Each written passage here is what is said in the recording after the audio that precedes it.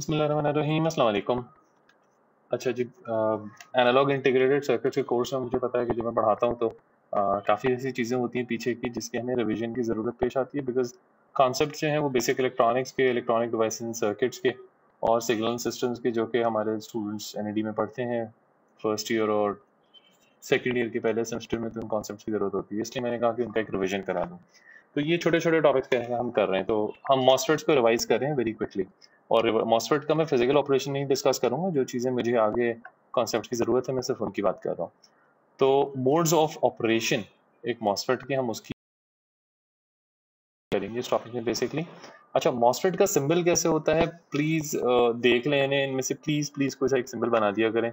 और इसकी दूसरे किस्म की वेरिएशन ना किया करें। अक्सर लोग जो बनाते हैं, वो लगता है कि वो बीजेटी बनाते बनाते मॉसफेट बना बैठे।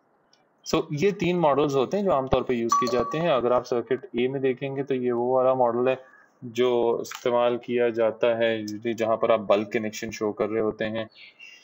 इसी तरीके से बी वाला भी वहीं पर इस्तेमाल करते हैं। आमतौर पर सबसे ज़्यादा जो हम इस्तेमाल करते हैं वो ये सी टाइप है। और याद रहे ये तीनों बेसिकली एनालॉग सर्किट में यूज़ होते हैं।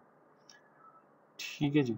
अच्छा आप लोग मॉसफेट पढ़ चुके हैं, लेकिन पूछा अगर जाए ऐसी क्विकली कि मॉसफेट करता क्या है? तो उसका जवाब ये है कि मॉसफेट एक्चुअली दो में से एक काम करता है। या तो मॉसफेट जो होता है, वो एक वोल्टेज कंट्रोल्ड करंट सोर्स होती है। बेसिक इलेक्ट्रिकल इंजीनियरिंग में कॉन्सेप्ट पढ़ा, हमने पढ़ा था कि जी वोल्टेज कंट्रोल्ड करंट सोर्स होती है करंट कंट्रोल्ड करंट सोर्स होती है, और इसी तरीके से बाकी कॉम्बिनेशन प्रैक्टिकली ये कैसे होता है? जी, ऐसे होता है। मॉसफेट या तो voltage current controlled current source बन जाता है। हम आगे थोड़ा देखेंगे कैसे। आ, या फिर वो एक सिंपल स्विच की तरह काम करता है। तो वोल्टेज कंट्रोल करंट सोर्स के अंदर क्या होता है कि अगर आपने गेट के वोल्टेज को चेंज करते हैं तो गेट के वोल्टेज को चेंज करने से ड्रेन का वोल्टेज चेंज होगा। आमतौर पर ये होता है आप जिस जगह का वोल्टेज चेंज करते हैं वहीं से गुजरने वाला करंट चेंज होता है। लेकिन अब गेट के वोल्टेज से गेट का करंट हम इसकी बात नहीं कर रहे हैं। गेट के वोल्टेज से ड्रेन करंट चेंज हो रहा है। ठीक है ना? मैं से अक्सर इसी तरह कहता हूँ कि मैं करंट हूँ किसी और का, मेरा वोल्टेज कोई और है। तो ये मतलब होता है वोल्टेज कंट्रोल करंट सोर्स और फिर वोल्टेज कंट्रोल स्विच रिले सीधी सी बात ये है कि बिटवीन ड्रेन एंड सोर्स जो चीज़ करंट फ्लो करेगा, ये एक रास्ता होता है। और गेट वोल्टेज पे डिपेंड करता है। अगर आपने गेट पे वोल्टेज सब्सटेंशियल अप्लाई किया तो ड्रेन से सोर्स के दरमियान रास्ता बन जाएगा करंट जाने का। अगर आपने नहीं अप्लाई किया तो वो रास्ता नहीं रहेगा। ये चीज़ इसके अंदर होती है। और ये अमूमन ज़्यादातर इस्तेमाल होता है डिजिटल सर्किट्स के अंदर, जबकि जो पहले वाली चीज़ है वोल्टेज कंट्रोल करंट सोर्स वो एनालॉग सर्किट में इस्तेमाल होती है।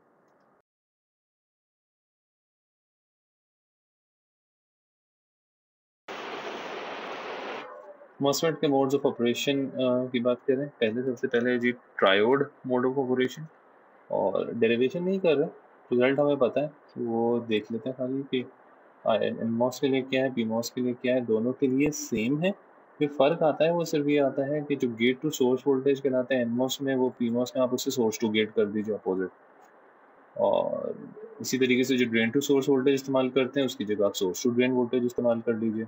तो कंडीशन वगैरह भी इसी तरीके से है, जो वी है, वो वी है, जो वी है, वो वी है. बस.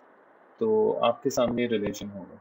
अच्छा ये याद रहे दोनों रिलेशन में कि ये ट्रायोड मोड कब से कब तक होता है? वी डी एस ज़ीरो से ज़्यादा हो, यानी ट्रांजिस्टर का drain to source voltage zero से ज़्यादा हो और V G S minus V T से कम हो। Gate to source minus thresh voltage से कम होना चाहिए। इस रेंज के अंदर जो ट्रांजिस्टर है वो ट्रायोड मोड में कहलाता है और याद रहे कि ट्रायोड हो या सेचुरेशन जो हम आगे देखेंगे, दोनों के लिए ज़रूरी है कि ट्रांजिस्टर ऑन हो, यानी कि वी जो है वो थ्रेश वोल्टेज से ज़्यादा होना चाहिए। पी मॉस के लिए बात करें तो वी जो है वो थ्रेश वोल्टेज के मॉड्यूलस से ज़्यादा होना चाहिए। अच्छा just look at the equation equation हमें क्या बताती है? हम लोग मैथ्स की वजह से ना इक्वेशंस को उस तरह से देखते हैं कि हाँ जी, एक मैथमेटिकल चीज़ है, उसको फ़िज़िकल चीज़ों के लिहाज से नहीं सोचते। अब अगर आप यहाँ पर देखें तो I equals to B one C X W V G S minus V T N V D S minus half V D square अब अगर मैं इसमें सिंपली पूछता हूँ कि भाई इसमें से कौन सी चीज़ें जो वेरिएबल है और कौन सी कॉन्स्टेंट कॉन्स्टेंट है तो काफ़ी लोग इसी चीज़ में कंफ्यूज हो जाते हैं। देखिए आई एक वेरिएबल है और दूसरी तरफ़ कौन सी चीज़ है जो कि बदल सकती है? और उस डिवाइस के लिए कांस्टेंट नहीं है। अब मिसाल के तौर पर अगर ट्रांजिस्टर बन गया तो ना आप उसकी विड बदल सकते हैं, ना उसकी लेंथ बदल सकते हैं। इसी तरह mobility of electron capacitance per unit area ये सब कांस्टेंट हो जाएगा। उस टेक्नोलॉजी के लिए थ्रेशोल्ड वोल्टेज कांस्टेंट है। तो जो चीज़ चेंज होती है, जो तब्दीली है, तब्दीली तो आप लोग लाते हैं, लाए तब्दीली, है ना? तो इसी तरीके से वी और वी जो है, ये वो चीज़ें हैं जो कि चेंज हो सकती हैं। तो इनफैक्ट अगर आप देखें तो आईडी जो है वो वी और वी दोनों पे डिपेंड करता है। ये पैरामीट्रिक टाइप इक्वेशन हो गई। सो so, इसमें अब हम ये करते हैं कि एक वक्त में आप एक चीज़ से बात कीजिए तो फॉर एग्जांपल मैं आईडी का वीडीएस से रिलेशन देखता हूँ। इस वक्त मैं वी को भी कांस्टेंट मान लूँगा। तो आईडी का वीडीएस से रिलेशन कैसा है? अगर आप गौर करेंगे तो आईडी का जो वीडीएस से रिलेशन है तो आपको नज़र आएगा कि ये वो रिलेशन है जो कि आप इससे पहले सेकेंड ईयर मैथमेटिक्स के अंदर कर चुके हैं। और बेसिकली ये शो करता है कि ये कप डाउन पैराबोला है। और एक ऐसा कप डाउन पैराबोला है और मैं चाहूँगा कि आप लोग इसे करके देखें, कि इसका जो वर्टेक्स है, वो V G S minus V T I D sat पर है। तो ज़रा जहन में तस्वीर लाइए कि एक कप डाउन पैराबोला कैसा होता है। वैसा इसका शेप होना चाहिए। हमारी मैथ्स हमें बताती है, जो हम पहले पढ़ चुके हैं, और ट्रायोड मोड का शेप ऐसा होना चाहिए।